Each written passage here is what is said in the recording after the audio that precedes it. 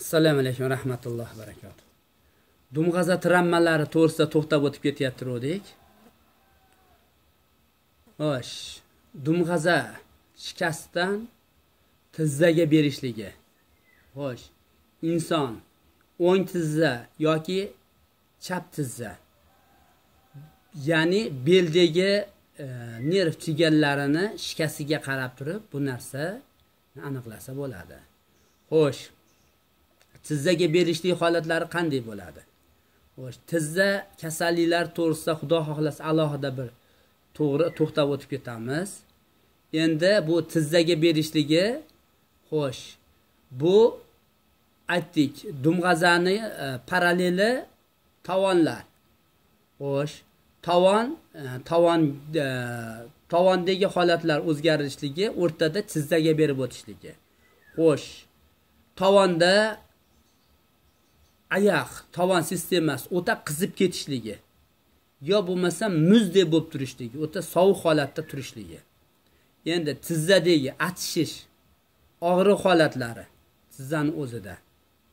Bu e, dumg'azadan e, oyoq sistemasida ya'ni tovon sistemasiga berilyapti. Tovon sistemasida yo o'ta qizib ketishlik yo bo'lmasam o'ta sovib ketishlik darajalari doimiy holatda. Har qanday issiq harakat qilgan bilan o'sha sistemalar tovon sistemasi isimasligi bunda albatta e, tizzaga o'zini e, og'rig'i holatlarini namoyon qiladi. Tizzada insonda og'riq achish holatlari bo'lishligi. Endi ba'zi bir holatlarda tizzada qichish holatlari tizzani o'zida e, bu dumg'aza travmasidan kelib e, chiqilinadigan narsa. Endi shunday holatki bu tashxis masalasida xudo xohlasa adashilmasa kasallikni davolash protsessi oson kechadi. Bo'lmasam tizzaga har xil dori darmonlar har xil bir e, narsalarni ishlatishligimizga ham sabab bo'lib qoladi. Nimaga desa biz og'riqni tizzani o'zidan ko'rib qolishligimiz ha desa e tizzada. Demak sizlarda ana unaqa kasallik mana unaqa kasallik deb gumon kasalliklarni tiqib yuborishimizga ham ko'proq sabab bo'ladi. Nima? Kasallikni kelib chiqqan holatini bilmasligimiz.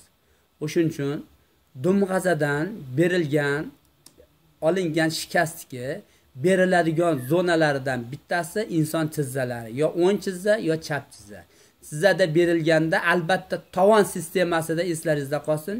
Yo muzlash holatlari isimaslik holatlari tovon sistemasida. Yo bo'lmasam o'ta qizib turishlik holatlari kuzatiladi.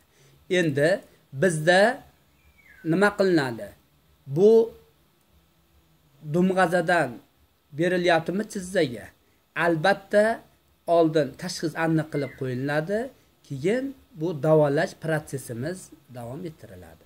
Bunda shunday holat bo'ladi. Muzdek turilgan narsa davolanish protsessda shunday holatlar bo'ladi. Dumg'azadan pasaygan holatlarida tizzadagi og'riqlar kuchayish holatlari. Keyin oyoqdagi muzlab turgan nerv sistemalari isib qizib ketishlik holatlari ham kuzatiladi. Bu nima? Bu dumg'azadagi shikastni parallel holatlari. Ya'ni dumg'azadagi o'zgarilishlikda ya'ni yaxshi bo'lish jarayonda protsessda haligi insonda kuzatilinadigan holatlar. Endi albatta bu narsa shifosi yo'q kasallik bo'lmaydi. Hamma dard shifosi bilan bu tizzada berilayotgan og'riq bu holatlarda achish holatlarini bartaraf qilishlik uchun albatta dumg'azadagi travma bartaraf qilinadi.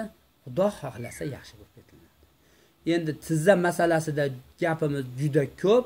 Xudo xohlasa boshqa bir alohida to'xtab o'tib ketamiz. Bu xususda savol bormi? Isishlik sovishlik achishlik shunaqa holatlar kuzatilinadi og'riq holatlari. Bormi savol? Yo'q savollar. Ha yaxshi bo'pti assalomu alaykum